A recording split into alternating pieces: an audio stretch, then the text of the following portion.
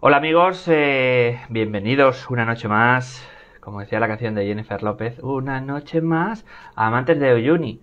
Aquí que somos amantes del progressive, de todo tipo de música, del afrobeat, del jazz, del rock, de la electrónica. Y hoy vamos a hablar eh, de esos dos eh, primeros capítulos de Los Anillos de Poder.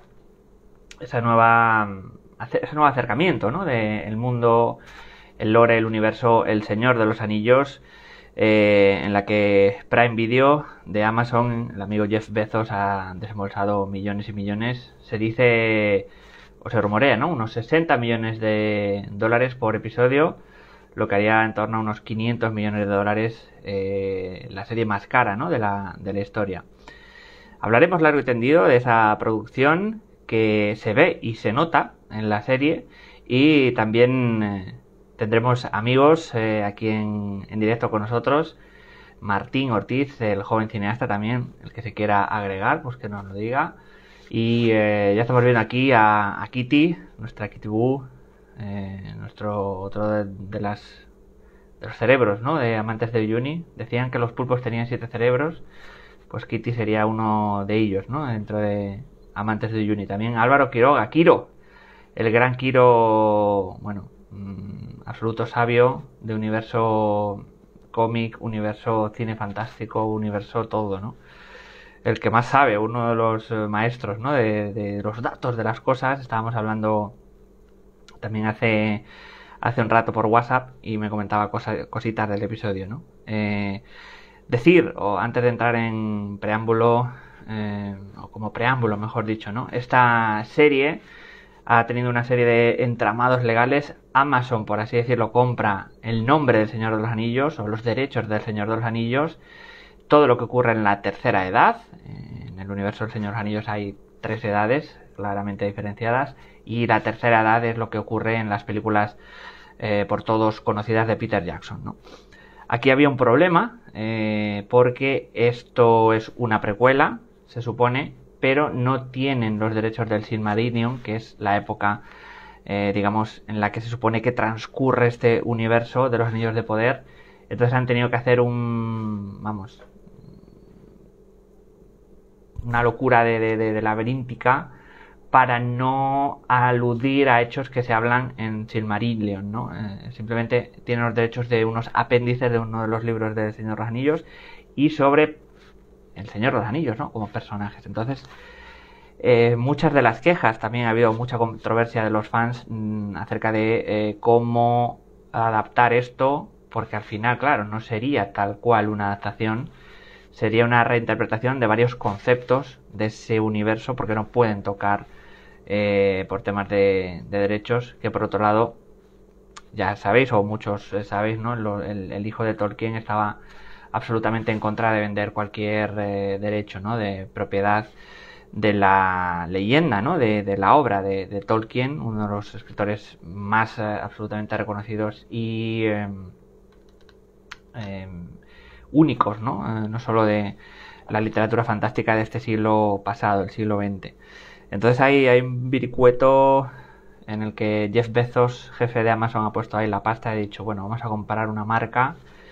También, yo creo, por mi lado, ¿no? Eh, buena oportunidad para, con ciertos toques, con ciertos ingredientes del Señor Anillos, hacer una serie absolutamente nueva o imaginarla, en este caso en los escenarios eh, donde ocurre, en la Tierra Media. Así que yo creo que más oportunidad que Hate, ¿no? Que también está recibiendo la serie, tampoco lo entiendo muy bien. Bueno, esta y, y muchas últimas series, Obi-Wan, o sea, casi parece que no te puedes mover más allá de los designios de los ultras, de los talibanes y de este tipo de personas, ¿no?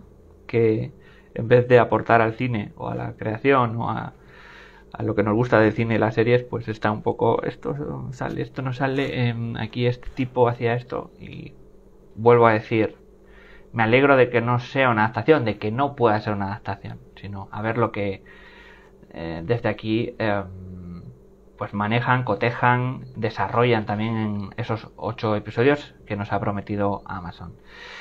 Vamos a, a estar con nuestros amigos, el joven cineasta está por aquí que le voy a dar ya acceso. Ah, bueno, perdonad. Como veis, estoy con un cabestrillo y estas cosas. No debería, pero ya sabéis que, no soy un culo inquieto, no puedo parar. Y aunque está así, pues yo quería hacer eh, esta, este IG Live, ¿no? Y este em, comentar con amigos que nos ha parecido estos dos episodios. Jauma, el joven cineasta, también se va a agregar eh, Martín Ortiz, al cual no veo. Pero aquí está ya con nosotros. Hola. ¿Qué tal? ¿Qué tal, amigo? Muy bien, muchas gracias por invitarme. Ya veo ahí que vas como absolutamente preparado ahí con ese póster, con Galadriel. Sí. Así que maravilloso, maravilloso siempre. Eh, lo, yo siempre lo digo, ¿no? Lo que el mundo del cine hace, ¿no? Que, digamos, esto hace no tanto, 20, 30 años, tú tenías un póster ahí detrás y te miraban desde afuera y eras como un absoluto loco, ¿no? Un absoluto bicho raro. Y me encanta que en lo moderno no solo se haya destruido eso, sino que sea casi como una línea de estilo y una línea, o una corriente de opinión también y, me, gustaba, ¿no? De alguna forma como traer eso a lo importante que es la diversidad y que estas cosas pues ya no se vean como se veían antes de, cuatro locos y tal, pues porque al contrario han conquistado el mundo, ¿no? Es decir, es de lo que más habla la gente en cuanto a entretenimiento o, o series, ¿no? Jauma, eh, rápidamente, sobre estos dos capítulos de Los Anillos de Poder, ¿qué te han parecido? Yo, yo ya te he visto, pero bueno, todos los espectadores que nos estén ahora viendo, ¿qué, te ha parecido esta aproximación de Amazon al universo El Señor de los Anillos? Pues la verdad es que me han gustado mucho, sobre todo visualmente. Creo que en eso todos coincidimos. También creo que hay fallos en el guion o fue mejorable, sobre todo el desarrollo de personajes en el segundo episodio que va muy lento y, hace que te puedas salir de la serie. Pero aún así, en general me ha gustado mucho. Vamos a también a, bueno, por partes más o menos. Eh, es una adaptación, como decíamos, controvertida. Eh, no sé si querías apuntar algo, Jauma, en el, en el sentido de, casi cómo se ha podido hacer, ¿no? Casi milagroso, ¿no? Bueno, milagroso no. Al final es dinero, al final todo cae y, bueno, dinero, quiero decir que al final todo se consigue en una adaptación de estas características. Eh, ¿Cómo viviste de alguna forma todo este proceso también que ha sido, o del que se ha hablado también más que la propia serie, ¿no? El hecho de, a ver, esto cómo lo van a hacer, ya cuando nos enterábamos de datos, no podían adaptar el Silmarillion, eh, digamos, hacer ese, ese regate, ¿no? Entre minas casi, ¿no? Para hacer la serie. ¿Qué opinas de todo esto? Pues la verdad es que llevamos unos años mm, cada mes o cada varios meses oyendo nuevas noticias de que esto va a ir por un sitio u otro.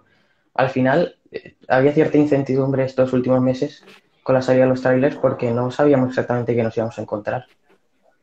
Y, la verdad es que parece un proyecto que, que, no iba a poder salir a la luz. Al final el dinero ha hecho magia, pero eh, parecía realmente imposible, sobre todo hacer algo tan grande. Y ya en estos dos episodios vemos que de verdad lo están consiguiendo hablamos de magnitudes, yo creo, y de, y de extensión, ¿no? Ahora estoy, a ver, oyendo doble otra vez.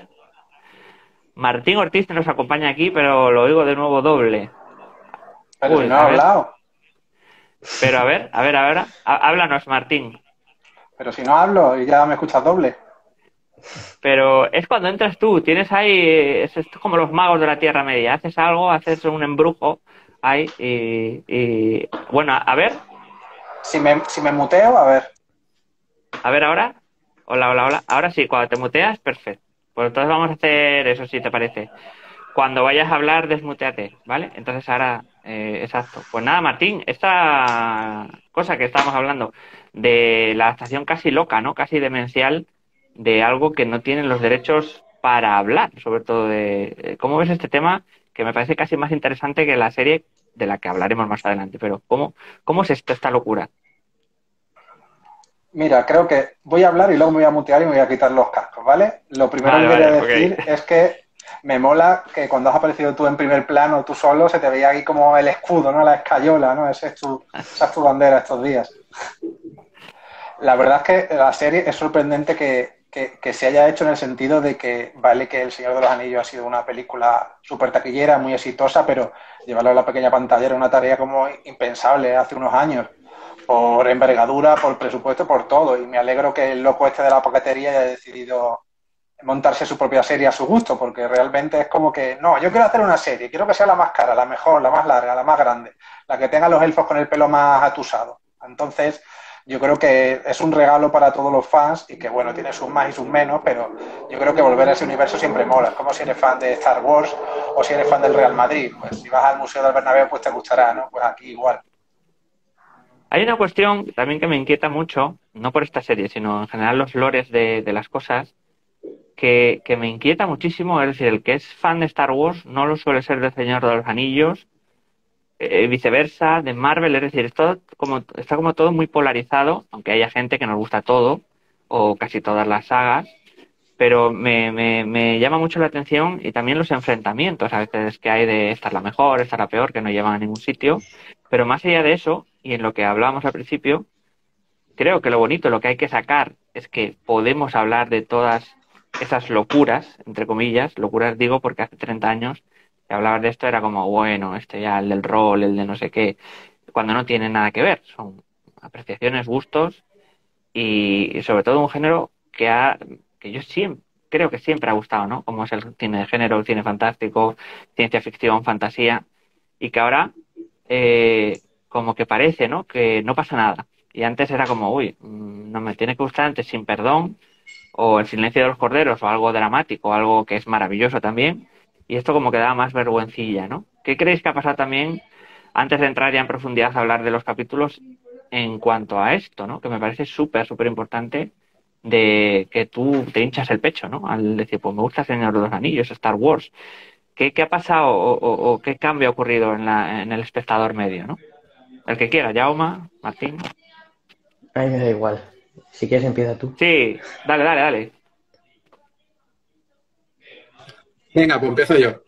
Eh, no sé si es que antes, eh, como que, o, ha habido una cierta evolución con esto del mundo del friquismo y todo eso, ¿no? Como que antes era, eran cuatro personas, cuatro locos que leían El Señor de los Anillos, jugaban al rol, y ya como que se está masificando y todo el mundo hace chistes de Gollum y la cultura popular ha cambiado y estas nuevas películas han hecho que eso evolucione, que los gustos pues se hayan expandido y se conozcan otras otros fenómenos, ¿no? Como puede ser, pues, Dune o Star Wars o Matrix o Doctor Who o todo esto, ¿no? Yo creo que ahora como que eh, como que es algo que vende, pues entonces se ha convertido en algo como más popular, ¿no? O sea, al final, El Señor de los Anillos, el merchandising, Juego de Tronos, todo eso da dinero, ¿no? Entonces ahora como que facilita más ser friki, ¿no? Tener pues un montón de material, de contenido para tu ver. Entonces yo creo que ahora es más fácil ser friki, aunque es verdad que en Twitter hay más problemas, ¿no? En las redes hay más problemas, pero yo creo que uno es más accesible a, a, eso, ¿no? A, las cosas que te gustan. Yo, por ejemplo, de pequeño siempre quise tener una figura de Dragon Ball y no había, tío. Yo quería tener una figura de Goku, tío. Y ahora hay cientos de miles cuando ya, ya no me interesa tanto como cuando era niño, ¿no? Entonces como que me jode, ¿no? Como que ahora hay acceso a unas cosas que antes no había. Y no es por sonar como Gandalf el Gris, pero yo creo que ahora hay más acceso a, a estos mundos nerd. Jaume, ¿qué opinas? Eh, bueno, antes lo hemos un poco perfilado, pero es que me parece como una de las piedras angulares, ¿no? en cuanto al espectador medio, de, qué bonito, ¿no? Que haya ocurrido. Eh, la verdad es que también hemos visto disputas estos últimos días con la Casa del Dragón, cuál va a ser mejor, el hate que han ido echando sin haber visto ni siquiera las series.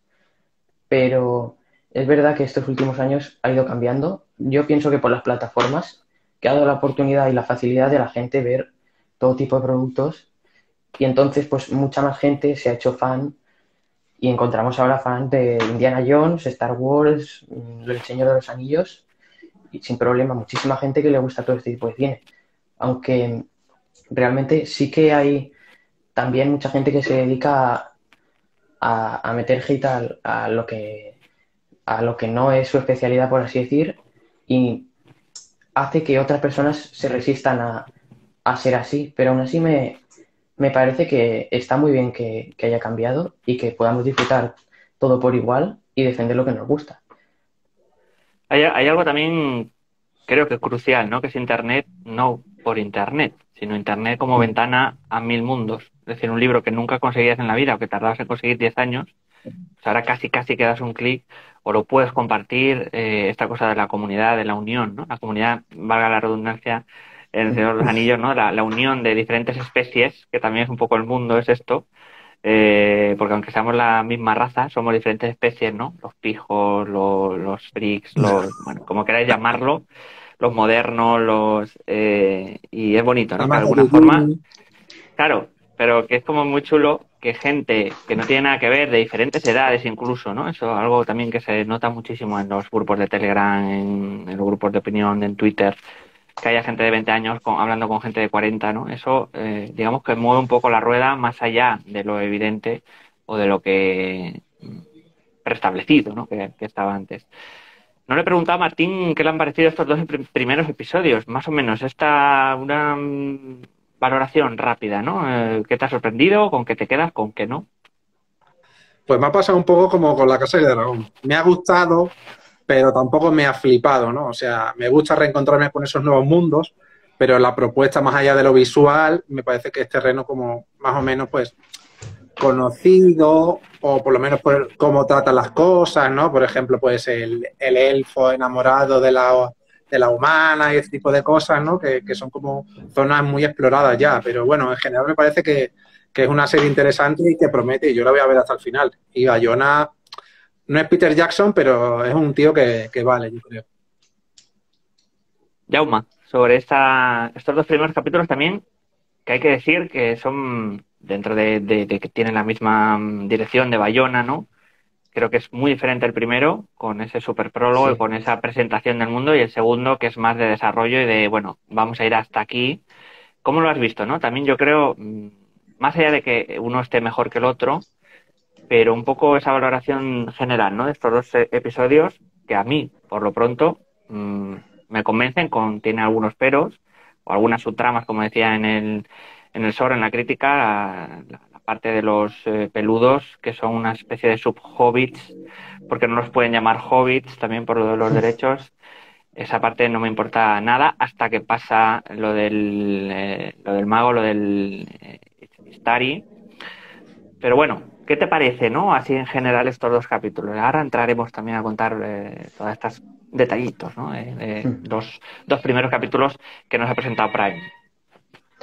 Pues eh, donde más disfruto, creo que como todos es con el prólogo, que ahí se ve la mano de Bayona, o sea, visualmente son potentísimos y se ve el dinero, se ve la calidad de producción. Luego, realmente el resto, salvo alguna escena de acción, me interesa un poco menos, porque realmente visualmente es lo que llama la atención. Y estamos hablando que Bayona es un director de, de acción o escenas con, con terror, por ejemplo, lo hemos visto. Y, creo que en el resto, por ejemplo, perdemos ese apartado visual tan potente en algunos momentos y la narrativa decae, por lo que hace que la serie, pues, aunque solo es un comienzo, y creo que esta temporada va a ser en general un comienzo de lo que plantean, eh, estos dos episodios se quedan como un poco, no son mediocres, pero no llegan a entusiasmar. Tampoco tiene una escena en la que digas, uy, necesito ver el siguiente episodio. No, cierran con nada que, te llame mucho la atención. En el primero está el meteorito y eso, pero realmente tampoco lo, cierran bien. Por lo tanto, se queda un poco extraño. Igual como si quisieran hacer una peli de ocho horas y la partieran en trozos, más bien que plantearlo como una serie. Esa es la sensación que me queda, aún así. Creo que tiene cosas muy buenas, la banda sonora, los efectos visuales, la dirección que ya hemos dicho, incluso el guion. El guion tiene cosas buenas, solo que tiene cosas malas. Es lo que más nos echa para atrás. Pero en general me, han gustado y continuaré viendo la serie también. En esto que apuntáis también eh, comentaban muchos internautas, mucha gente, eh, esta cosa como de la serie algoritmo, ¿no? Yo creo que tiene parte de eso la serie, pero también tiene cierta, o hay que darle cierta mm, cancha, ¿no? Porque también joder, no sé, creo que tiene como cosas muy impresionantes en la puesta en escena, que no es poco, en 2022 que, que algo te deslumbre, ¿no? La, serie es apabullante visualmente, en el buen sentido. A ver, si muchas cosas que son muy bonitas y tal, esta, por lo pronto, mm, o sobre todo en el primer capítulo, es como, wow, madre mía, ¿no? Así que estoy viendo como voces de fondo ahí. psicofonías, ahora ya se fueron. Vale, cuando eso intentamos mutearnos, porque si no es como que igual el espectador está viendo... Es un espectro del anillo. Es un... es un señor, ¿no? Oscuro. Estoy viendo también, que no me he dado cuenta, una solicitud para unirse de Ricky Off. Vamos a ver, a saludar a Ricky Off, si quiere. Entonces aquí, eh, yo no lo conozco, pero bueno, lo conoceremos. Eh, Bien, dar su, su, su, opinión. Igual ya se ha salido. Es que lo he visto ahora lo de... Pero estas cosas de Instagram, yo soy más de YouTube y más con OBS. Aquí es como que me pierdo un poco más. Bueno, saludar a muchísima gente que ha entrado. Mm, se ha visto que se ha ido también. Serían, no sé, varios, decenas. Eh, yo estoy intentando saludar con un tiki tiki. Eh, bueno, Ricky parece que había estado, pero se había ido. Claro, esto lo he visto ahora. Perdonar, disculpar mi torpeza. Solo tengo una mano hoy. Nada, vamos a, a, a, continuar también o adentrarnos en, en la psique del capítulo. Yo creo una de las mejores cosas que puede tener una serie es que empiece potente. Yo creo que lo hace. Más allá del prólogo, digamos, de historia de la segunda edad, que no se puede decir que es segunda edad, que también, luego, luego vendrá eso, me parece mucho más eh, potente, ¿no? Ese mm, prólogo con Galadriel de niña, en el que está jugando con otros niños, y es lo que una de las cosas que más llama la atención, eh, no solo en el Señor de los Anillos, ¿no? sino en cualquier narración que esté bien hecha, ¿no? Que ya desde ahí plantea las bases eh, no solo del argumento de la historia, sino de los dilemas de los personajes y también cuando es bueno, pues la profundidad, ¿no? Ahí se plantea, eh, claro, diríamos la maldad humana, pero es que no es humano, es ya la maldad de los seres con conciencia, ¿no? La niña está ahí todo feliz haciendo su barquito de papel y hay unos hijos de puta como que quieren, mm, son terroristas, ¿no? Lo quieren joder, quieren que se hunda. Es decir, ya no está dando una analogía eh, clarísima, ¿no? Del bien y del mal, ¿no? De cómo cuando uno quiere hacer algo bien, ¿no? Quiere construir, crear, pues vienen unos como en Twitter y te tiran piedras al puto barco para que no... Y dice algo, una frase muy bonita sobre la luz que se refleja en, en el cielo y en el agua y sobre la piedra que solo ve la profundidad o los abismos de la oscuridad o algo así, ¿no? Me pareció como una forma muy potente de empezar, muy bien fotografiada además. No me esperaba que fuera por ahí, me esperaba más el prólogo de, pues en esta era pasó todo esto, que es lo que vemos después, pero son cinco o seis minutillos que plantea muy bien no solo el Señor de los Anillos, sino cualquier eh, buena narración de que al final hay conflictos, las cosas empiezan a torcerse aunque sean inocentes, ¿no? Martín, ¿cómo ves esto? Que me, me llamó mucho la atención que empezara justo así.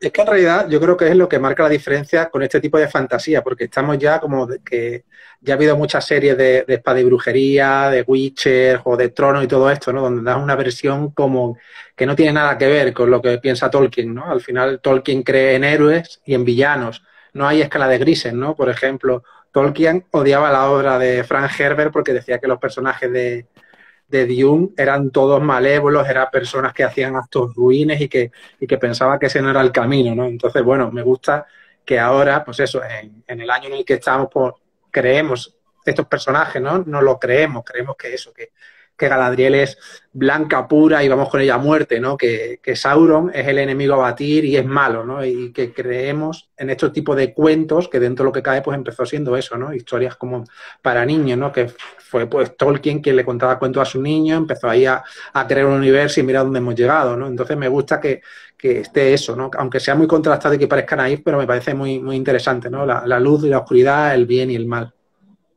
Y sobre todo en ese análisis de que todos podemos no solo caer en la oscuridad o en la luz, sino que inevitablemente un ser con conciencia tiene que mmm, sentir esos, no diría, mmm, porque es igual es muy polar, ¿no? El bien y el mal, pero esos diferentes lugares de la condición humana o de la condición de un ser, ¿no? De por lo menos plantearse eh, por qué quiero hacer daño, por qué lo hago, o por qué quiero hacer algo bien o construir en vez de destruir, ¿no? Más allá de lo literal de las palabras. Jauma, ¿qué me puedes comentar de esto también que es como, me parece como una de las piedras angulares del Señor de los Anillos y de cierta forma de narrar preciosista que ocurría, pues eso, en las literaturas del principio de del siglo XX y que nos adentraba en, en historias que tenían el mal o que, o que había personajes malévolos, pero también había un espacio para la luz, eh, por lo menos existía, ya que en la actualidad casi todo parece pesimista, nihilista, mmm, todo mal, ¿no? O sea, esta mezcla que, que hay de, de, cosas. ¿Cómo lo ves? Que me parece uno de los temas importantes, eh, aparte de los filtros que se está poniendo Martín Ortiz, de, Instagram. Eh, dentro de la obra de Tolkien es como todo muy clásico. El hombre eh, ha vivido mucho de la literatura de estos últimos 500 años. No se ve, eh, pues lo que estás diciendo, los, los típicos enfrentamientos de si lo estoy haciendo bien, lo estoy haciendo mal, no sé si podré hacer esto. Y creo que es, es un ejemplo bastante chulo porque dentro de ese clasicismo nos lo encontramos ahora mismo menos, que lo que estás diciendo tú ahora.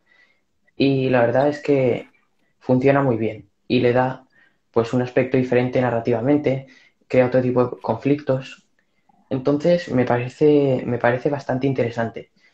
Obviamente en estos dos capítulos pues no hemos podido ver cómo se va a desarrollar, totalmente esto, pero sí que por dónde va a ir tirando y creo que, pinta que va a seguir eso eh, que planteaba Peter Jackson en, su, trilogía, eh, donde los personajes creo que no se limitaban a hacer grandes gestas heroicas, sino que había un desarrollo detrás, había un trabajo de guion para que los personajes fueran creíbles, que la gente empatizara, y espero que en, esta serie sea, sea igual. Hay una cosa que lo que estás comentando me ha venido a la cabeza que se la achaca siempre a Tolkien, y es verdad, yo creo, creo que es indudable, que es un tío un poco pesado de leer. Pesado digo porque son tochacos, porque son es decir, contiene muchas cosas muy chulas, sus historias, pero tiene esa cosa del desarrollo, del caminar, casi como los hobbies, venga, voy para acá y ahora voy para allá. Eh, entonces, claro, aquí ocurre que tenemos una serie que tienen que medio inventar sobre unas bases y que solo tenemos ocho capítulos y hemos visto seis. ¿Creéis que en ese sentido se va a acercar más a lo ritmoso, por así decirlo, que tenía Jackson de, de, condensar, ¿no? Esa cosa, digamos, del lector, ¿no? De leer, de, joder, no veas, me quedan todavía 500 páginas, ¿no? ¿Creéis que va a ir más por el ritmo o que creéis que va a ir más por lo que les pasa a ciertos personajes y focalizar? Porque si no, claro, es, es como inabarcable. Además, decían en torno a unos 3.000 años que tienen que, se supone, en estas cinco temporadas que va a haber de Los Anillos de Poder, condensar casi como en un estadio humano, ¿no? De, de la vida, porque hay eh, los, eh, los, hombres, ¿no? Los elfos, pero claro, unos son inmortales, otros viven menos tiempo, o sea, diferentes especies. Entonces decían como que tienen que hacerlo esos, esas cinco temporadas en un sector humano, ¿no? De unos 80 años, ¿no? Esos 3.000 y pico de esa segunda edad no eh, declarada, ¿no? Que no puede de alguna forma. Martín, ¿cómo ves esto? Que también es un quilombo importante, ¿no? Es que la diferencia fundamentalmente del cine con la literatura es que al final el cine es una herramienta que se basa en el tiempo y en el espacio, ¿no? en el controlar ese ritmo. Al final Tolkien es alguien que bebe obviamente de Homero, de la Odisea y de todas estas historias, ¿no? Entonces a él le gusta retratar cada jodido detalle, ¿no? Entonces, que no esté preparado para eso, pues se puede tirar de los pelos a la hora de, de, empezar a leer sus obras, ¿no? Y también recuerdo que había amigos que se leían El Señor de los Anillos y se saltaban todas las canciones. Claro, es que en estos mundos medievales, pues la gente no tenía el Spotify, entonces ¿qué hacía? Pues cantaba, ¿no? Y había muchas canciones a lo largo del libro.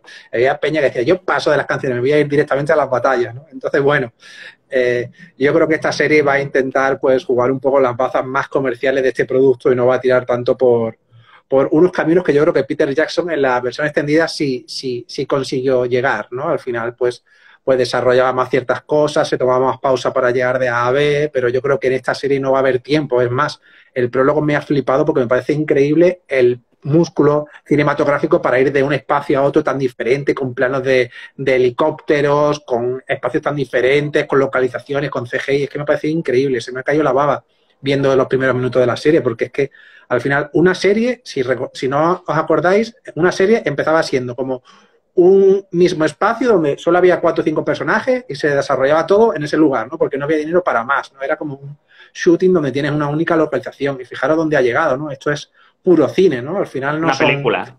Exacto, esto es una película. O los ejercicios de estilo de una película, ¿no? De presentarte eh, lo que estamos diciendo. A los 20 minutos teníamos, vamos, teníamos el culo torcido, ¿no? Decir, madre mía, ojo, ojo, cuidado, ¿no?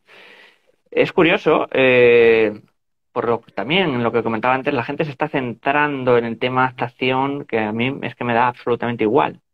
¿Por qué? Porque ya partimos de la base que el bebé ha nacido muerto, que no puede ser una adaptación. Entonces, me gusta la idea de a ver dónde va la serie, porque tienen que inventar mucho con la base, ¿no? Del ron de Galadriel, eh, de los proto-hobbits, de los humanos, de Morgoth, de Sauron, ¿no? Pero a ver dónde va, ¿no? ¿Qué, creéis que va a dar? O, mejor dicho, ¿os gusta esa idea de que no tenga que ser una adaptación per se y tenga esa vía libre o esa libertad para hacer lo que quieran? ¿Creéis que lo van a hacer? ¿O que se van a ceñir, digamos, a casi un telegrama del lore Tolkien, Señor de los Anillos, que van a hacer lo que se supone que, deben hacer? Por ejemplo, Jauma. A ver, me, gusta la idea de que trabajen con el mundo ya creado, pero haya cierta originalidad y puedan hacer productos nuevos, de ideas de gente eh, nueva que no venga de, otros, de otros libros. Pero también es verdad que trabajar sobre los libros de Tolkien tiene una ventaja, que son buenísimos. Entonces ya tienes algo hecho. También es muy difícil. Eh, de momento, lo que hemos visto creo que que la originalidad está presente, pero van a tirar mucho de Tolkien, de lo que hemos visto en El Señor de los Anillos. Hemos visto partes que me han recordado mucho, por ejemplo, a la forma de, las escenas, de eh, el guion, cómo hablan, todo eso. Pero eh, la verdad, eh, de momento, el concepto que, tenía la, la, serie, o sea, esa originalidad sobre la Tierra Media, me llamaba mucho la atención y lo sigue haciendo, vistos estos dos episodios, ojalá sigan por ahí. Creo que Tolkien tiene un gran, una gran obra, pero que deberían tirar por sitios nuevos. Sí, la verdad, la verdad que tenemos como, como, un sitio o un lugar de, de, base como muy loco, ¿no? Muy guay, porque pueden tirar de todo el universo El Señor de los Anillos, aludiendo a cosas que igual evidentemente no vimos, ¿no? En las, sobre todo las películas o el espectador, digamos, de, de películas. Vamos a entrar también en cuanto a los personajes. Hay varios y claros. El sería Galadriel. Y oscuros también. ¿Eh? Dime. Y oscuros, hay personajes claros y oscuros. Y oscuros, claro, por supuesto. En esta cosa ya, pues, eh, habitual de las series de la inclusión o no inclusión, pero bueno, dar un poco y los pelosos también. Me refería a Sauron, de color. Ah, vale, no, no. No, seguro, seguro que no, pero ahora ya me has hecho la guaña, ya me has dicho. No, que, que eh, vamos a, entrar ¿no? En, hablar en este caso de Galadriel, que yo creo que es protagonista perfecta. Eh, la actriz está para mí inmensa. Es verdad que no está en la vía de la Galadriel pacifista, un poco de lo que es la literatura, pero lo que estamos diciendo es que es otra cosa, o debe ser otra cosa porque no tienen casi nada de eh, que adaptar ¿no? de esos derechos. Galadriel, Martín, ¿qué te ha parecido esta composición, no? De este pues personaje que, A, mí, a, mí, me, ha, gustado porque creo que es la que va a tirar la serie, o bueno, ya lo sabíamos por los trailers, pero que, tiene fuerza. Me pensé yo que iba a ser un poco más timorata, un poco más bueno, me, pero creo que tiene bastante fuerza eh, gracias al trabajo de la actriz también. Sí, estoy de acuerdo. La verdad es que parece ser que va a ser el personaje troncal. Me gusta mucho que la serie sea coral, pero es verdad que que los mejores momentos se los lleva ella. Me parece una actriz que es bastante buena. Yo no la, yo no la conocía, no sé si la conocéis vosotros, pero a mí me parece que es bastante interesante y que hace un trabajo bastante bueno y me contrasta mucho con, el actor que hace de Elrond, que parece Barney Stinson, ¿no? Parece el colega de, la barra del bar, ¿sabes? Pero bueno, qué voz tiene el actor, ¿eh? Ojo, el de Elrond. Ojo, cuidado, ¿eh? Bueno, y hay otra cosa que me dejó loco, el niño este de la, de la Tierra de los Hombres, ¿no? De la, el, que es hijo de la que conoce al elfo oscuro, eh, ¿qué voz tiene ese niño? Que tiene 11 años y tiene una voz de, de, de Sean Penn, ¿sabes? De carretero, ¿sabes? Me encantó esa, esa movida. Digo, ¿esto qué es, tío? Y no, no, quiero decir que hay, hay, varias sorpresas en el casting en, ese sentido, ¿no? De, de, wow, ¿no? O sea, y también diversidad, pero creíble, o sea, está, está bien, ¿no? Porque claro, una Tierra Media sería como un mundo, habría de, habría de todo, ¿no? Se me ha ido ahora el nombre de eh, Morphoth Clark, me parece que es la chica, no hacerme caso porque se me ha ido ahora el nombre, pero hizo una peli eh, que me recomendaron de terror, eh, que no me acuerdo tampoco el nombre porque eso estoy muy tonto hoy, pero hizo una... Saint Maud. Saint Maud, Saint Maud, exacto, exacto. Muy buena me han dicho, así que yo la tengo apuntada para ver.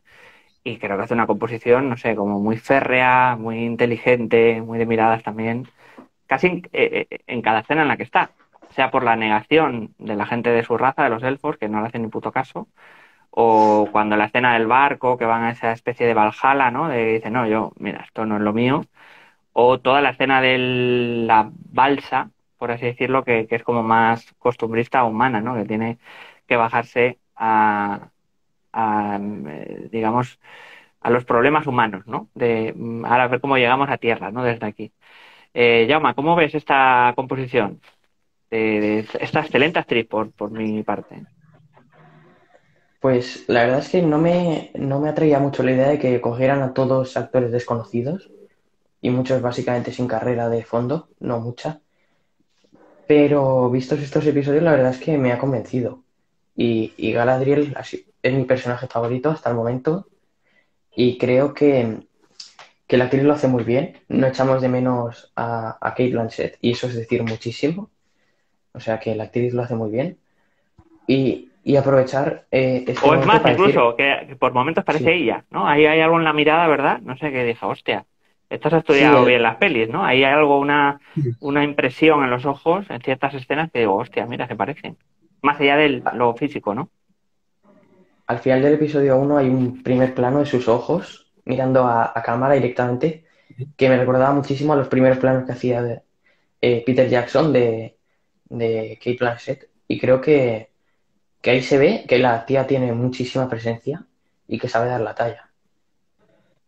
No, totalmente, además porque mm, además está en esta escuela de nuevos actores que dice, que tienen 20, 20 y pocos años y son unos pepinos, ¿no? Antes no significa que nunca haya habido actores jóvenes buenos, ¿no? Pero que era complicado hasta que ya entraban en, a hacer varias pelis, varias series, y ya vienen estos, o sea, más allá de donde estudien o que hagan, que, que, que joder, con veintipocos años ya tienen una marca y una estampa, ¿no? Delante de cámara, ojo, ¿eh? Que vienen fuertecitos también, claro, eh, tenemos una referencia hace 40 años no era lo mismo un intérprete que ahora que tiene mm, a su mano, ¿no? Ver todas las series, todo lo que quiera y fijarse también en los detalles en las buenas eh, eh, trucos ¿no? de actor, ¿no? También podemos ver casi cualquier cosa. Creo que influirá, pero también tiene que haber eh, la garra ¿no? del, del, buen actor dentro. sobre este elfo de color, Martín, ¿qué te ha parecido? A mí me ha dejado un poco una cosa irregular. Claro, como es que no mm, soy muy malo para los nombres, no me sé los nombres, perdonad. ¿Qué te ha parecido? Me ha parecido, por un lado, a mí bien, y por otro, bueno, a ver qué pasa con este, ¿no? ¿De, de qué palo va, ¿no? ¿Qué opino? ¿Del personaje, de la estética? ¿De qué quieres que opine? ¿De todo? ¿De nada? personaje. Tú sabes que tú y yo somos de personajes, de, la, del alma, de lo interior, de lo ulterior, incluso. ¿Qué te pues parece en este... Pues, pues, para lo poco que sale, como que yo creo que se han empeñado en que nos encariñemos de él, que nos guste, que sea un personaje atractivo, que se empatice con él. Yo creo que se ha trabajado muy bien en esa línea, ¿no? Aunque es el típico personaje, pero bueno, con, con estos pocos momentos que ha tenido, yo creo que la han trazado más o menos bien y yo creo que va a ser como de los personajes que más gusten, incluido Adriel. O sea, ahora mismo pues sí tenemos muchos personajes, pero con enjundia pocos. Ya te digo, a mí Ulron no me ha llegado a conquistar del todo, pero sí este hombre y Adriel pueden ser unos buenos personajes y a ver si, si, si la pseudo hobby también aporta algo o no. Vamos a ver qué, qué personajes van saliendo por ahí porque el reparto era muy coral. Cuando lo anunciaron había muchísimos actores, así que a ver dónde llegan con cada uno. Además tienen aquí esta cosa mm, que siempre, bueno, casi siempre funciona, que es que ama en secreto. Este personaje, este elfo ama en secreto. Al final le dice, bueno, yo no te lo he dicho, pero tú ya lo sabes. Aquí yo por ti, tú por mí, ¿no? Es como que hay una cosa cute que va, que casi siempre funciona. Veremos a ver por dónde va. Pues claro, es lo que decíamos, eh, se desarrollan tantos mundos, tienen, pueden ir las posibilidades de ir a diferentes lugares, ¿no? Como es luego lo que vemos, ¿no? Las, las minas de los enanos, eh, que pues, el abanico en, en muchísimas posibilidades. En esto que estoy comentando, ¿no? Me recordó mucho esa relación de Elrond y de Durin, de este príncipe enano, a Legolas y a Gimli, ¿no? O sea, ya ahí como eh, fanservice un poco, un poco, pero bueno, yo creo que está bien, está bien recreado porque se ve muy bien, pues eso, cómo es el mundo de los enanos y cómo es el mundo élfico un poco más civilino, más a ver si te trato de convencer y tal. Y algo que me hizo como mucha gracia gracia en el sentido de, oye, hijo puta, no me has visto en 20 años, ¿ahora qué quieres? Que, te reciba, que te dé de comer. Y ahora viene la esposa le dice, venga, hombre, ¿qué más da? Vamos a cenar y tal, ¿no? Y hay algo como muy Señor de los Anillos, creo, que había en, la trilogía original, de esos niveles, ¿no? De dureza y relajación, ¿no? De, venga, bueno, ya está, ¿no? O sea, parece que no se van a ver nunca más, son grandes historias épicas de gente que se conoce pero que se enfada, que no te voy a hablar nunca más y luego pues hay como un concepto cotidiano que creo que sí que estaba en la obra de Tolkien, ¿no? De, de alguien pues que va todos los días a, tomar su café, de que observa a la gente que hay en el bar, ¿no? Hay como esta mezcla, me gustó, ¿no? Porque, digamos, en la serie bajaba a un sitio más humano, ¿no? Por lo pronto. ¿Cómo lo veis? Por ejemplo, Jaume. Eh, yo simplemente le voy a decir a José Ángel Cordobés que si quiere hacer una pregunta la haga o si se quiere unir, que se una, porque él es muy fan también de la serie y la estaba esperando. Que yo creo que se la ha visto hoy a las bueno, se lo vio ayer a las 3 de la mañana o hoy a las 3 de la mañana, no sé muy bien, ahora estoy confundido con la hora. Pues eso es, José Ángel Cordobés, el que quiera, dais a agregarse y os sacamos aquí al directo. Así que para aportar, para crecer también y para hablar de este eh, los anillos del los anillos de poder. Mucha gente dice los anillos del poder, y yo no, los anillos de poder. Yo mismo he, incurrido en ese error. Ya, lo que decíamos de esta relación, ¿no? De, de Elrond y de el príncipe enano, que nos retraía, ¿no? Al Señor los Anillos. Yo creo que más que fanservice es como que intentan mantener el espíritu de las películas de, de Peter Jackson, porque siempre han dicho, ¿no? El propio Bayona y los showrunners de la serie, que nunca han querido eliminar de nuestra memoria aquellas películas, que quieren crecer a base de ellas, quieren tenerlas en cuenta, aunque obviamente no pueden hacer referencia, pero eh, creo que, funciona muy bien y, mantiene ese espíritu de, decir, es una es fantasía, es eh, acción, pero siempre hay mucho cariño, amor y cercanía con los personajes lo, lo, lo, que, me, lo que me resulta pues muy interesante.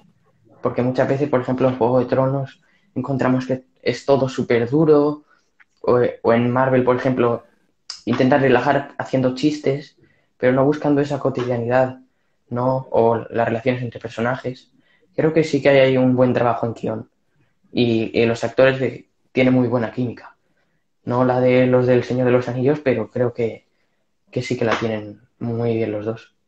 Yo creo que, que, ayuda ¿no? a todo esto que estamos comentando, que más o menos sea gente desconocida, los actores, quiero decir, que no haya ninguna cabeza sobresaliente. Entonces, eh, lo que decía Kitty, ¿no? que te lo crees un poco más. También en esta época en la que a golpe talonario con, o sea, contratamos estrellas, pero creo que debe ser más de para películas, este tipo de cosas, ¿no? Brad Pitt, Leonardo DiCaprio, que son grandes y tal para una serie, porque te va a acompañar muchos capítulos, te puedes incluso hasta aburrir, ¿no? De alguien que ya has conocido y que creo que funciona mejor como cameo, ¿no? Que aparezca en un capítulo ahí y tal. O esa terna ¿no? de, excelentes secundarios ingleses o americanos, ¿no? Que pueden salir y que, que no tienen del todo esa cosa del rostro absolutamente conocido de los protagonistas que te ponen en primer plano. Eh, sobre lo que nos ha gustado menos, yo decía antes lo de las subtramas, creo que ralentiza sobre todo en el segundo capítulo lo que es importante, lo que es la, harina. ¿Cómo lo ves, Martín? La, quizá las cosas que menos te han gustado, ¿cuáles son para ti? Es que realmente... Mm, es que realmente amo El Señor de los Anillos. Me ha gustado todo. He llorado no sé, igual me, esperaba como que respetara más, pero claro, yo tampoco lo sabía, ¿no? Que, respetara más el legado de Tolkien y el legado cinematográfico, ¿no? Que, siguiera un poco las líneas estéticas, eh, ciertos personajes, referencias o algo, pero si no es al final el mismo universo, o sea, forma parte del universo de Tolkien, pero no es del universo cinematográfico de la película de Peter Jackson. Entonces, es como una ruptura un poco, pero bueno, como es otra edad, pues puedo comprar eh, determinadas cosas, ¿no? Pero no sé, hay como pues ciertos looks que no me terminan de convencer de los personajes, eh, algunos Martín, espacios hay que decir que se fija mucho en, los aspectos, en los aspectos de las cosas y de los personajes. Eso quizá también es una derivación más nuestra teatral, que es ultra crucial cómo ha vestido un personaje, mucho más que en audiovisual, aunque parezca lo contrario. Ojo, dice mucho más de, la personalidad del personaje y de qué teme y qué quiere en teatro que... Y entonces es algo que siempre nos fijamos más allá de, no estamos hablando de la moda o cómo ha vestido, sino si le calza bien, ¿no? Es algo más relacionado con cómo talla, como el, el, el, el, que hace el, traje, ¿no? Hay algo más artesano, ¿no? En, cuanto a lo teatral, ¿no? Claro. Y entonces es verdad que se ven algunos como, uy, ¿este dónde va? Esto se han pasado, ¿no? Esto... ¿En qué personaje sería? Dínoslo, cuéntanoslo todo. Queremos saber todo. A ver, yo me estaba informando y he hablado con mi concilio de Elrond en particular, que es un grupo que tengo de, de, Telegram solo de Tolkien, ¿no? Y me han dicho que, no me enfade con las etnias, ¿no? Que, no pasa nada, ¿no? Que, que no ha habido ningún elfo de raza negra en la literatura de Tolkien, pero en algún hueco podría haber cabida, ¿no? Porque realmente es como que, vale, yo compro que pueda haber un hombre negro, pero elfos negros no hay, no es por ser racista, ¿no? Pero, pero bueno, son como cosas que se ajustan a los tiempos que hay ahora, ¿no? Como también, pues, no sé, me parece que los elfos están súper repeinados con cortes de pelo que llevaría, yo qué sé, Cristiano Ronaldo, no sé, son a lo mejor decisiones estéticas que son modernas, pero que yo creo que dentro de unos años va a decir, pero ¿y este tío que, que no sé? A, mí hay algunas decisiones que me parecen que han sido un poco, pues, la estética del momento, ¿no? Y bueno, también el hecho de, de gustar, ¿no? De que sea algo como moderno y fresco, ¿no? Pero yo creo que, que incluso el Hobbit en todos estos aspectos le gana a la serie, de momento, de momento.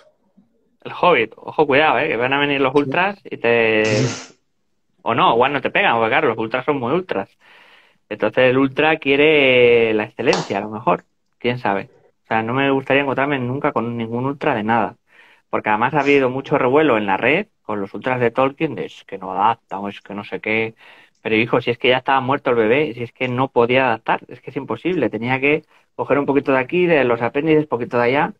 Entonces la gente indignadísima cosa que no entiendo.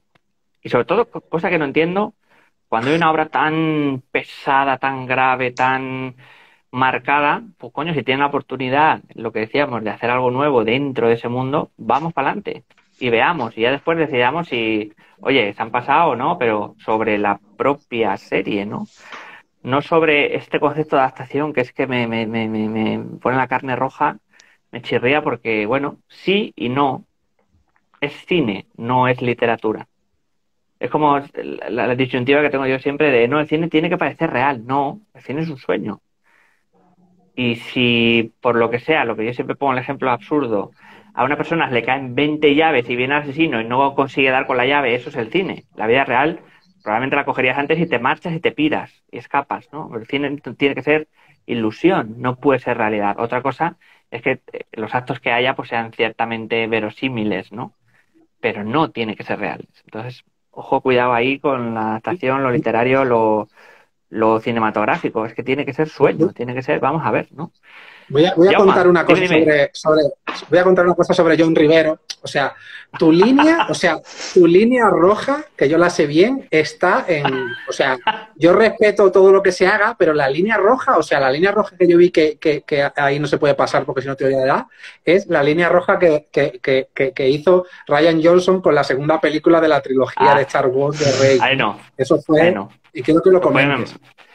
Ah, bueno, pues esta es la, sempiterna historia, ¿no? Quiero decir, en una iconografía tan grande como la de Star Wars, no quita, claro, te la puedes cargar o no, pero no te la puedes cargar así.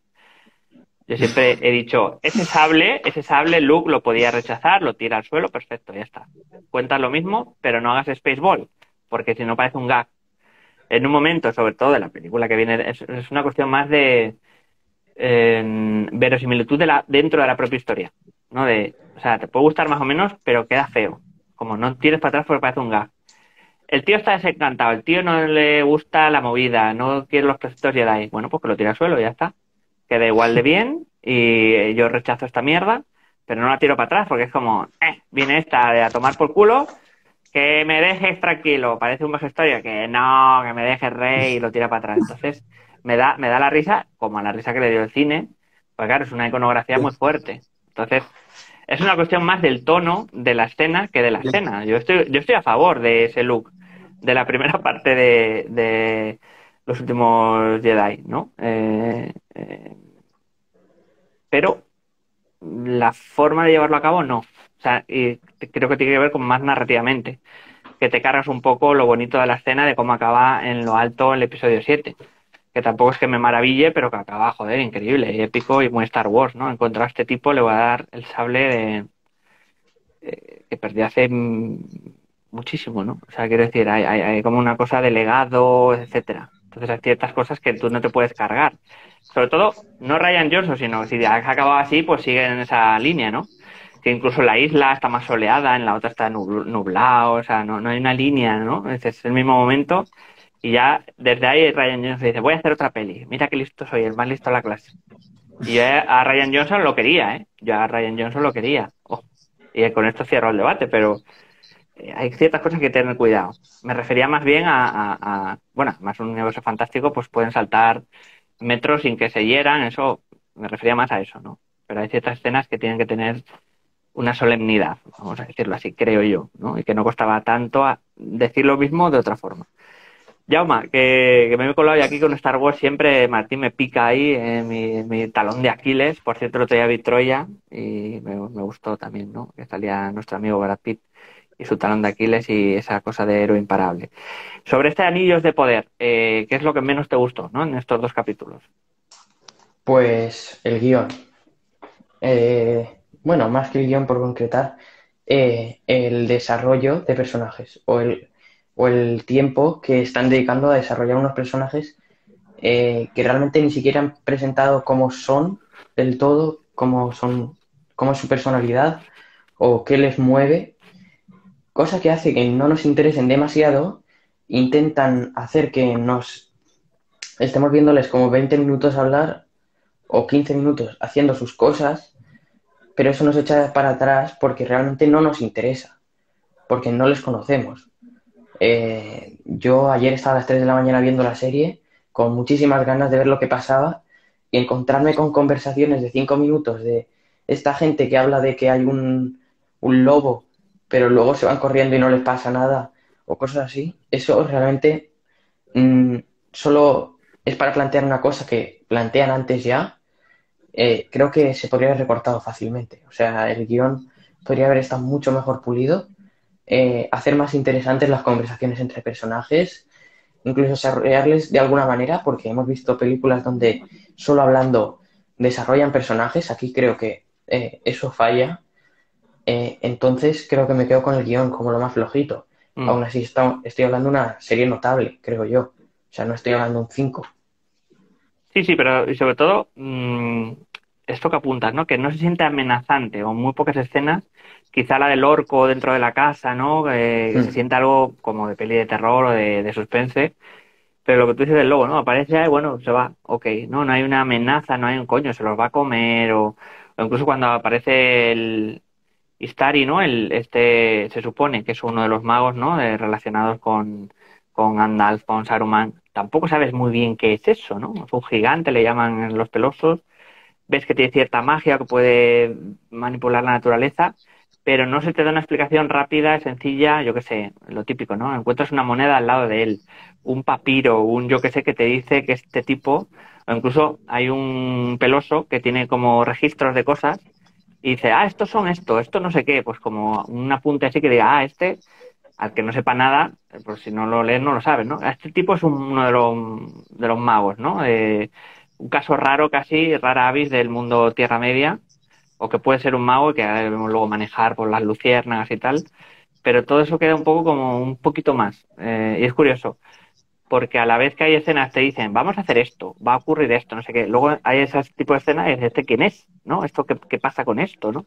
Tienes que darnos una pauta para, ah, vale, esto es un mago. Y tú ya entiendo yo, ya, aunque lo supongas, pero en el cine a veces es curioso, tienes que rematar la jugada, ¿no? Y en otras escenas no decir que voy a hacer esto, que va a pasar esto, O sea, porque ya lo estás viendo y van a, a ese sitio. Entonces yo creo que a la serie le falta esa unidad de que donde debe no tiene y donde no hace falta, pues sobreexplicativa, ¿no? Martín, ¿cómo lo ves esto? Sí, sí.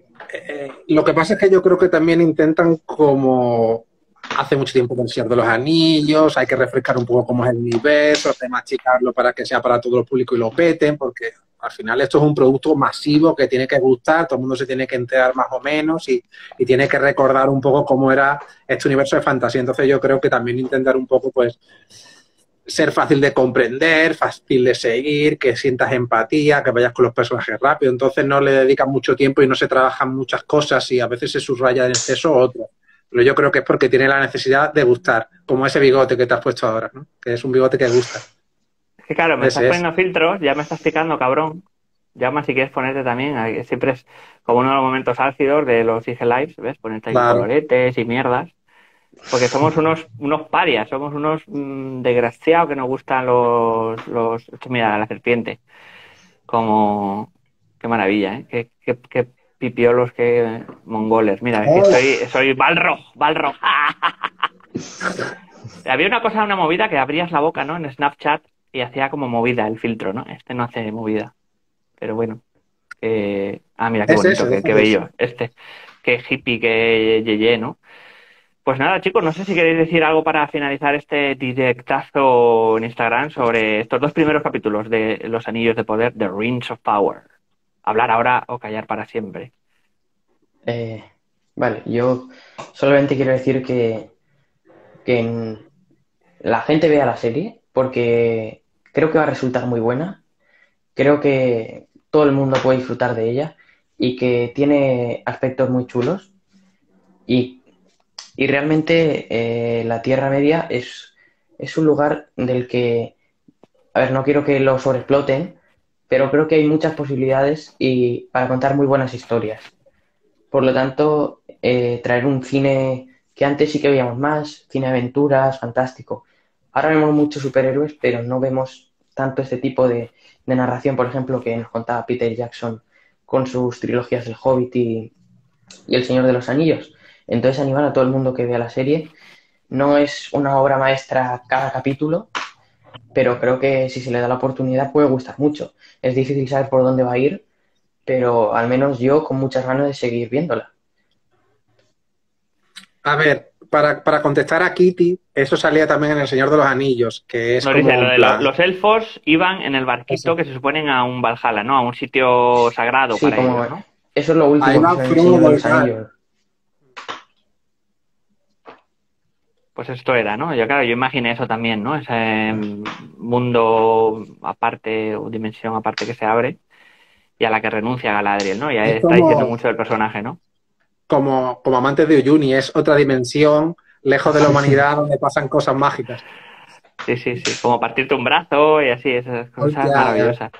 Exacto. bueno, realmente esto es una realidad en la que yo me he partido un brazo, según la teoría del multiverso habrá otra que no me pasa nada, otra en la que morí ya en el primer directo, otra en la que estaré 60 años haciendo directos, o sea, hay muchas variabilidades y posibilidades, que a algunos les gustarán más y a otros menos.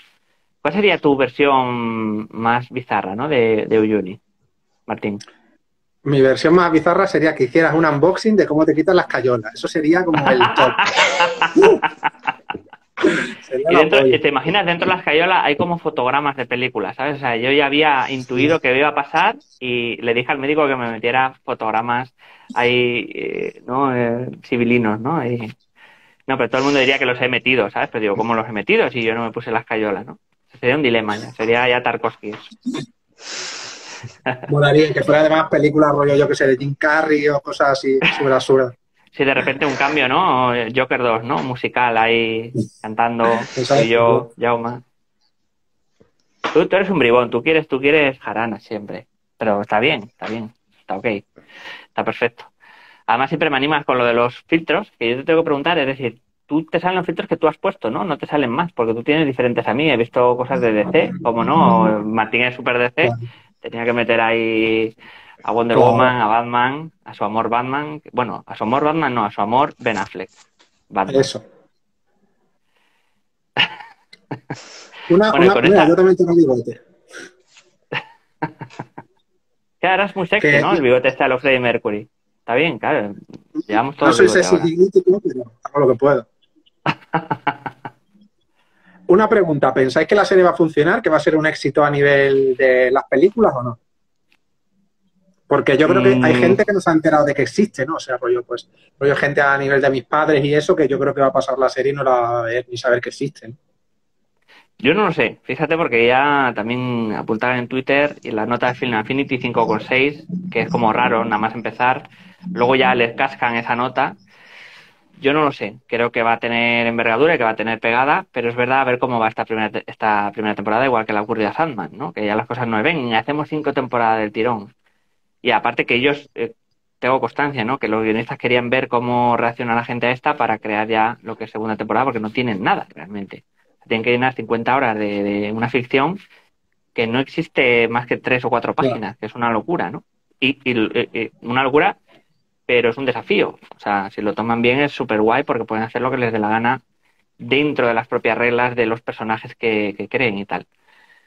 Yo creo que va a tener un éxito moderado. Creo que va a ser más exitosa Casa del Dragón porque tiene unas bases más afianzadas, quizás, y por lo, por, lo pronto tiene un libro, aunque no sea excelente, de Martin, pero que está basado, ya tienen los linajes, qué pasa, todo esto. Entonces, mm, creo que va a gustar más también porque a la gente le gusta más la mordiente, ¿no? Todas esas intrigas y tal, aunque también la fantasía medieval, épica guste, pero creo que va a gustar más lo otro. Me da a mí, para un público más generalista, que al final no busca cosas tan estridentes, digo, de, de, dragones, de mm, los malos en torre, de que gusta, pero que creo que el otro mm, coge a más público, ¿no? Es decir, reúne a más público genérico. No sé, Jauma, ¿cómo lo ves?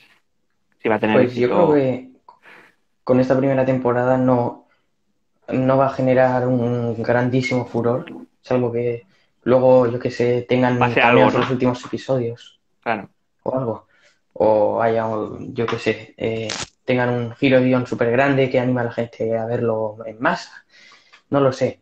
Yo creo que esto va a ser más como rollo las cinco temporadas cuando estén, se va a convertir en una serie pues mucho más importante pero no creo que se acerque al éxito de las películas, al menos en esta primera temporada. Eh, estoy de acuerdo contigo, creo que La Casa del Dragón va a ser más exitosa, eh, pero bien por eso, porque es mucho más reciente y hay un material que la gente conoce, más o menos, eh, en el que se basa. Entonces, creo que eso le asegura un éxito, aunque bueno, todavía no podemos decir nada, porque ni siquiera tenemos los datos de, de visionados de este primer día. Así que conforme pasen las semanas, iremos viendo. Veremos exactamente. A mí me pasó una cosa que se me trabó el Amazon. O sea, no iba. es como, ah, ups, hay un error. Entonces debía ser que estaba a las 10 de la mañana todo el mundo viendo la serie y, el servidor dijo, cao. Luego ya bien, ¿no? Pero no lo sé. Aparte, lo comentaba el otro día con Javi de Norque, con Martín que los datos a veces son un poco, mm, a ver, fíjate, ¿no? Venga, igual han sido 10 millones y te digo que ha sido 12 millones de espectadores, meta de 2 millones por la butad, ¿no? Del quién más, ¿no? No sé. Eh, no hay que fiarse mucho, como dice Llama, quizá más cuando ya acabe la serie y haya una reflexión, haya que ver más eh, o analizar más, ¿no? Este, este tema. Eh, y también como ocurre, para unos será un éxito, porque les ha gustado mucho, porque tiene esa cosa épica, porque reúne todos los ingredientes que pueden gustar a, a mucha gente, y para otros será un fracaso porque en un episodio pasó una cosa que no les gustó y ya no perdonan ese episodio al resto de la serie. Entonces, también es un mundo muy extraño en el que nos movemos, de que esta absoluta dependencia de que todo sea perfecto, los ocho capítulos perfectos, y eso no va a pasar, ni en esta ni en ninguna. Pues porque, por una sencilla razón, llevamos 120 años de cine, de audiovisual y está casi todo visto. Entonces, no te puede sorprender como hace 50 años algo, ¿no? Hace 50 años, bueno, la gente se desmayaría, ¿no? pero mm, creo que tiene que ver más con la implicación también, con el tiempo del espectador, con la paciencia, con la atención, que te distraes con, tienes un móvil y no, pues sigo mañana viendo 10 minutos, no hay una suena muy tonto, ¿no? No hay un compromiso a la hora de ver cosas muchas veces, ¿no? Nos distraen otras. Entonces es difícil de valorar también, ¿no? La, eh, los números, la atención o la, o la difusión que ha tenido la serie. Sin más amigos, agradecer a Jauma, joven cineasta, a Martín Ortiz, que está en Ojo de Pez, y servidor, que está aquí eh, escayolado. Eh, agradeceros a todos los espectadores también que habéis estado hoy con nosotros para conversar ¿no? sobre estos anillos de poder, estos dos primeros capítulos. Recordar, cada viernes anillos de poder, los lunes la Casa del Dragón y Andor el día 21, creo que, o sea, que tenemos un otoño glorioso eh, que ya empezó un poco, ¿no? Con Sandman y que, pese a lo que pueda pensar, yo creo que es muy buena temporada, sea que nos haya gustado más o menos, pero no se reunía tanto en tan poco tiempo, ¿no? Y con tanta lore, ¿no? O sea, por la novela de Gaiman. también, hombre. ¿Dime? Y abogada Julka, hombre. Se te olvida no, abogada Julka no entra en mis planes, ¿sabes? Es como, it's not my kind of thing. no, pero sí, es verdad, es verdad. Ahí los Marvelitas estarán contentos. Aparte, parece ser que la serie está guay. Yo no entro a ese juego, no, ya es demasiado para mí. Ya Hulk, ya Hulk, ya Hulk tengo yo un conflicto con Hulk, no me, no me, no sé, matadme, no me gusta como personaje. Poco Hulk de la cosa? Yo soy más de Marvel, eh, yo sería de quién más yo sería más de Thor, igual, más de ese rollo, de Loki, ¿no? Claro, es que tú eres del norte, tiene sentido. Ah, y soy muy de Wanda, yo soy muy de Wanda. O sea, soy Team Wanda absoluto, Elizabeth Olsen y Doctor Extraño también. O sea, yo soy más de ese por ahí, por ahí, pero... Dice Kitibu, volvemos a la senda indie de Drive My Car, volveremos, hablaremos también de lo indie, es indispensable hablar de lo indie, de lo mainstream, de todo porque así pues podemos llegar a las mentes de mucha gente y pues un día le gustará ver el directo este a los que nos gusta la fantasía y la épica y lo indie pues volveremos también evidentemente a tener eh, directos debates porque vienen muchas pelis también de temporada de premios de Venecia de Cannes y Albert Serra. o sea que y Albert Serra que estrena hoy su peli no su magna peli no que no tiene abuela Albert Serra también eh, ¿Se imagináis a Albert Serra dirigiendo eh, este Señor Anillos? Qué locura, ¿eh? Eso sí que sería para ver, ¿eh? Yo creo que lo echan, el primer día lo echan, ¿sabes? Como, mira, bonito. Esto tiene un sistema de producción, esto no va así, no se hace así. No lo sé, no lo sé. O igual no, igual, yo qué sé. No, no, o sea, me, me, me vuela la cabeza pensar que un tipo así, que va tan de ese rollo, pues pueda dirigir un, como decir, un encargo, ¿no? Como el señor Anillo. Yo sí, yo sí le veo sentido, o sea, imagínate los elfos hablando catalán, yo lo veo. Claro, no, no, yo, yo, yo compro, yo, lo que pasa es que creo que no le dejarían, ¿sabes? Como les pasó a los de la Lego película, que empezaron a dirigir la de Han Solo y dijeron, hostia, ¿dónde vais, amigos? No se puede improvisar, ¿no? Es como, en el cine no se improvisa, claro, ellos siempre lo habían hecho y tal, y dijeron, no, no, no, no, no, adiós, vamos a, no a remontar la peli, a, a reproducir, a producirla de nuevo, ¿no? O sea, no sé. Pero está, esto, es otro buen melón que se me plantea que decir, pero vosotros no sabíais que estos eran esto. O sea, ¿qué os pensabais, no? Que jajaja y saludos, ¿no? Pues son gente que hace las cosas así, ¿no? Bastante extraño me parece que hayan dejado a Ititi hacer lo que hace, ¿no? En el universo Marvel, que se desvincula totalmente, ¿no? De lo que es la línea Marvel, acción, ¿no? O sea, que si hiciera Ragnarok me parece un milagro en los tiempos que corren y ojalá que pasen más cosas así, más allá que te guste o no. Que diga, me a tomar por culo. Y esto me lo llevo a mi terreno. Pues nada, Martín, Jauma, muchísimas gracias por este Easy Life sobre los anillos de poder. Nos despedimos, amigos. Recordar que luego lo vais a tener eh, en Reel, ¿no? Creo que se queda en, el perfil de Amantes de Uni. Eh, todo lo que os suscribáis, like, nos deis, todo eso, pues nos ayuda muchísimo a crecer, a llegar a más gente. Recordar también que Yama tiene en su espacio también a Joven Cineaza en Twitter y en, Instagram. Y Martín es by Martín Ortiz. O sea, es por Martín Ortiz. O sea, por mí mismo. O sea, tu sello, por mí mismo, ¿no?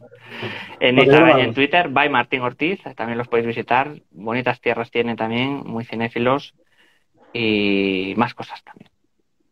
Así que nada, mm, acabar con una, una palabra, una frase, algo.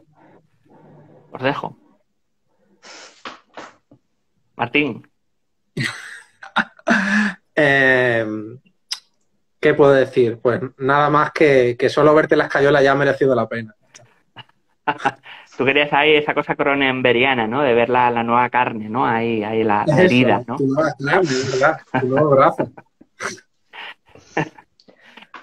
Yauma, cuéntanos para finalizar. Eh, Algo. Pues no, voy a repetir. Que vean El Señor de los Anillos. Pues, eh, amigos, ver estos anillos del poder, nos despedimos. Besitos, abrazos de lisiado, abrazos de gente normal. Nos vemos en un próximo directo vídeo de Amantes de Juni.